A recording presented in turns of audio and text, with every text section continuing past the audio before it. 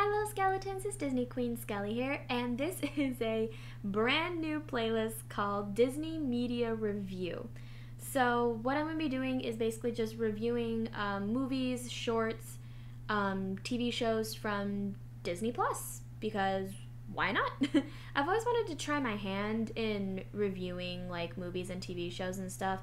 Only problem is is that I I'm not like professional, like a professional reviewer, you know what I mean? Like obviously I'll have a biased opinion sometimes, but that doesn't mean I'm not gonna like do my research, watch it. Like that's what I'm pretty much doing. I'm doing my research, I'm watching it, and then I'm giving it an honest review based on what not only what I've read, but what I've watched as well, and take everything under consideration. So today we are reviewing the classic, um, well, show, movie, whatever you want to call it, Steamboat Willie. Alright guys, so first what I'm going to be doing, this is pretty much how it's going to work. I'm going to be um, reading the ratings and the release date and the running time and some plot summaries and then at the end um, i'll tell you how i felt about steamboat willie or like really any of the things i review i'll tell you how i feel about it and give you my own personal rating based on how i perceived it while watching it and include the IMDb uh, rating into consideration. So let's first talk about Steamboat Willie before we actually get into Steamboat Willie. Released January 1st, 1929. IMDb rating 7.6 out of 10 stars. Running time about 8 minutes. Plot summary 1. Mickey Mouse piloting a steamboat delights his passenger, Minnie, by making musical instruments out of the menagerie on deck. Plot summary 2. Mickey is piloting a steamboat when Captain Pete comes off to the bridge and throws him off. They they stop to pick up cargo.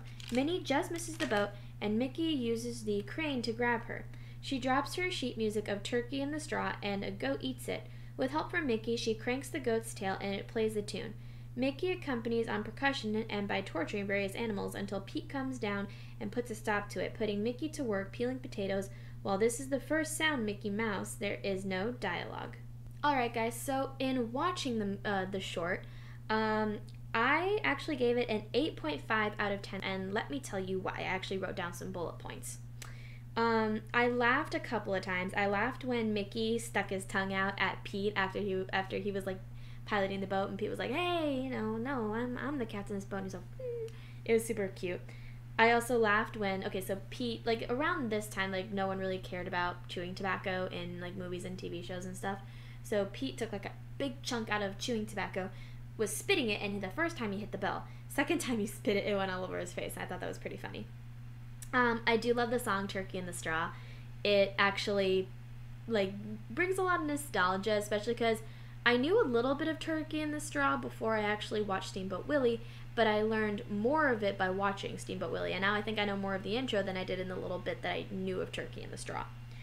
Um, I didn't like when Mickey was using the animals as instruments, uh, specifically the cat, chicken, the pig, and the piglets. It just seemed a little bit much for me. Um, whenever it comes to movies or TV shows, I have a hard time watching when I see animals being hurt.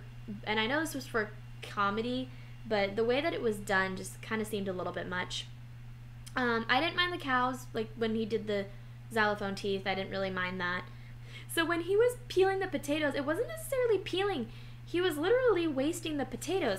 He would like peel it and then like there would be like a lot of potato stuck to it and he'd throw it and it would just he would just be doing that and it would be like this big of a potato and then he was left with like that much of a potato. Like what? That's not peeling. That's like cutting it up and then just throwing it away for that much of a potato when you could have like that much of a potato if you do it right. But anyways, yeah, that is why I gave it an 8.5 out of 10 for myself. So I hope you enjoyed my very first uh, media review.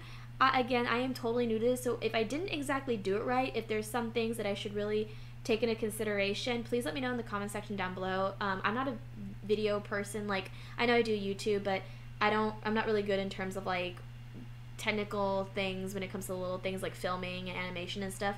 So if that's really the only thing that's the problem, I will do my research and see what I can to get more knowledgeable in that. But if you guys have any advice for me, I would greatly appreciate it. And I really hope you enjoyed this media review. Let me know what rating you would give Steamboat Willie in the comment section down below and how much you love or maybe don't love the movie. Bye little skeletons. Stay safe. I love you guys.